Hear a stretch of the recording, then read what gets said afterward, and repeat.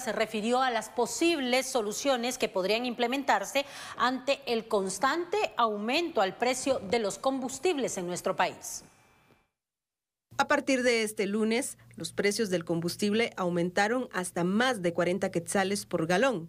En este sentido, el presidente de la República, Alejandro Yamatei, se refirió acerca del conflicto internacional que existe y que afecta el precio a nivel mundial y los operativos que se estarán implementando para supervisar la venta y precios de la gasolina. Nosotros nos estamos preparando para una serie de medidas que anunciaremos esta semana.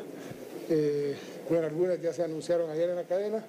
Estamos teniendo ahorita un control sobre las gasolineras al precio que recibieron el, el embarque y no al precio que creen que les va a venir el embarque porque ahí, hay un juego y hemos pedido las sanciones y, en caso de, de reiteración de falta y que proceda, la cancelación de las gasolineras que estén actuando de esa manera. A partir del día de mañana, el Ministerio de Ambiente tiene la obligación de sacar públicamente el listado de aquellas gasolineras que estén incumpliendo con, con la normativa, que no estén dando el combustible al precio que es a partir de mañana el MEM deberá estar reportando. Hay una orden de la presidencia que el MEM tiene que reportarlo para que la gente sepa quién es el que está, eh, el que fue sancionado, para que sepa la gente en dónde pasar a echar gasolina, en dónde no.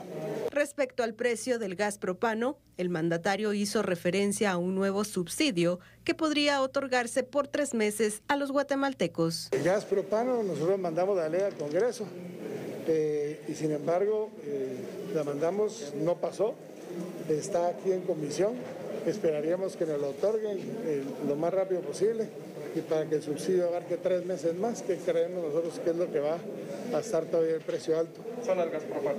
Al gas propano. Con la, con la, si nosotros le quitamos 1.30 al precio del combustible que es de impuestos, de los cuales se va para las municipalidades y para el mantenimiento de las carreteras, si nosotros quitamos eso, eso va a subir en dos días y la guerra sigue. O sea, de nada sirve eso porque va a subir en dos días con la, si la guerra sigue, eh, porque está alterándose todo el orden mundial.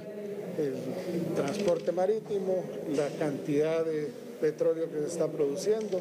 Y algunos países van a tener que sacar esta semana sus propias reservas estratégicas para poder paliar los precios que están viviendo. Este jueves, la mesa técnica que analiza soluciones desde el Congreso se reunirá para plantear posibles soluciones al incremento de los derivados del petróleo.